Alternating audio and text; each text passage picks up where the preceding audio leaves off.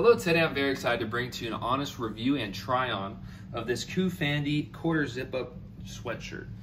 As you can see, it has some cool little material here. It's kind of like square patterns all the way around and the fabric is very, very soft and comfortable. And then you get a cuff here on the sleeve.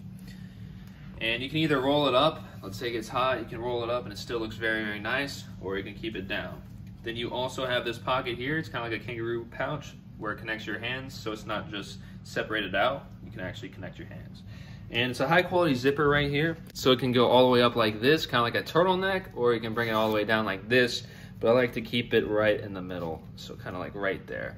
I think it looks amazing. This is a light khaki colorway, and you can wear this with shorts, pants, anything like that. I'm wearing with gray shorts right now, probably doesn't fit the best attire, but my favorite way to wear is with black pants. And yeah, I was kind of skeptical about the light khaki color, but I think it looks absolutely amazing. And as you see right here on the zipper, it has like a like a leather tag on it, which is very nice. And I think it's just a really, really sleek, nice look. And I'll do a 360 for you. So if you're interested in getting yourself a quarter zip up, I would definitely recommend this one right here from CooFandy. I think it looks amazing and I would definitely stay true to size. Thanks for watching.